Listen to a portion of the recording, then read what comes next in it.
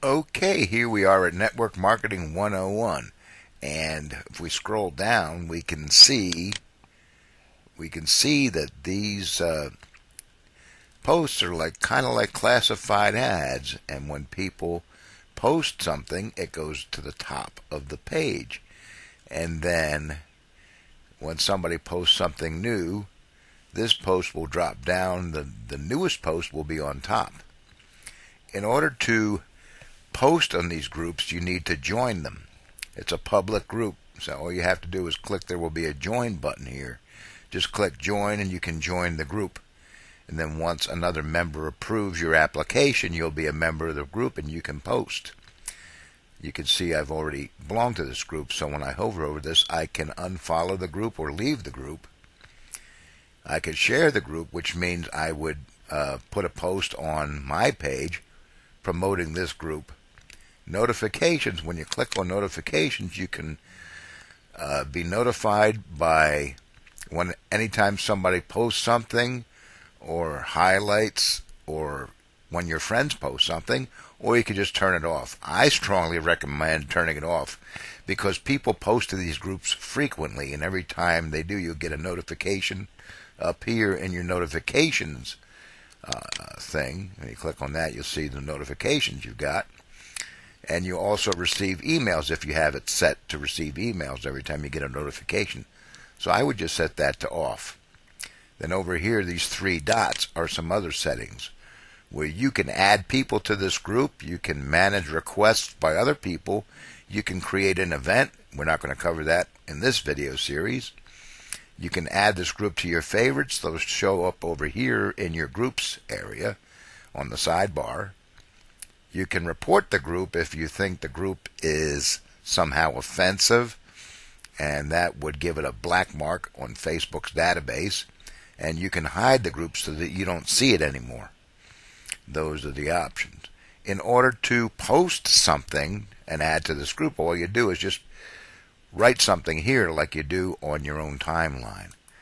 And uh, it's similar to making a post on your own wall. You can add photos, videos, uh, put up a polling question, add a file, everything you can do in your own posts. So I'm just going to type something real quick in here. There, that's it. And then just click on post. And it's right up here at the top. Now, just like any other kind of post, people can leave, uh, they can like it, they can leave comments, they can share it, and that's how it works. Some other things you can do with posts. Every post has a little icon in the uh, upper right corner of the post. And if you click on that, it gives you some options. You can turn off notifications for this poster. You can edit the post if it's yours. You can delete the post if it's yours. Let's go to somebody else's post and click on the little arrow in the upper right hand corner.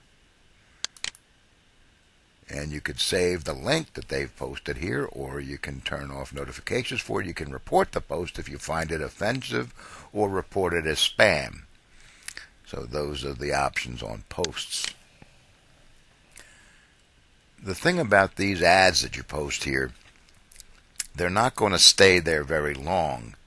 So if you want your ad to be seen by more people, you have to come back into the group and repost it.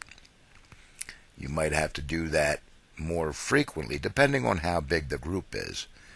Groups that have lots of members, you'll have to post more frequently because people are posting more frequently here, and your message will quickly scroll way down to the bottom and people do not generally go down too far when they're looking at a group page. So you want to post it once in a while, maybe a few times a day, so people that see it. If it's a smaller group, you won't have to change post as often because small groups don't get that many new posts. So you don't want to keep repeatedly posting there, otherwise it'll look like you're spamming. So just judge by the size of the group and how often you see post people posting there. You can get software like Auto Poster software that will go to all your groups and post things for you automatically.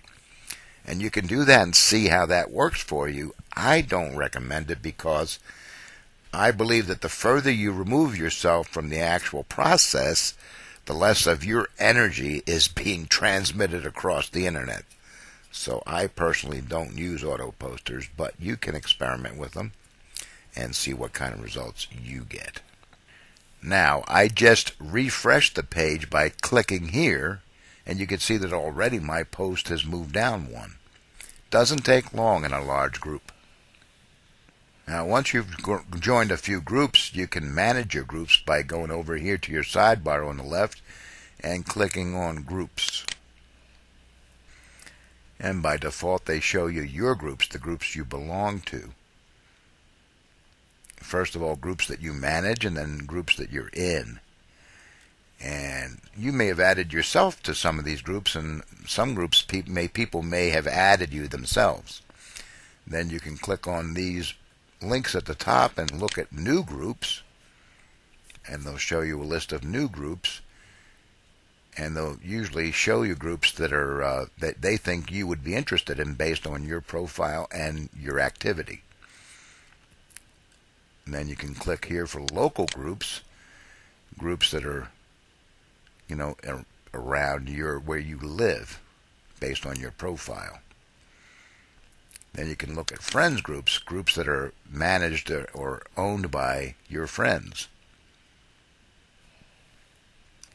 Or they may be people you know are a member of them. Like this group here, I know Matt. And this group, I know Tracy. So they're showing me groups that my friends belong to. Then there are suggested groups over here on the left. We'll show you groups that you might be interested in based on your activity and your profile. So this is where you can manage and find your groups. You can also create a group from this page. But now I want to show you a different group, so I'm going to go to your groups and go to MLM and Tools. You can follow the link below this video to go to this page and then follow along with me. So we'll see you on the next video.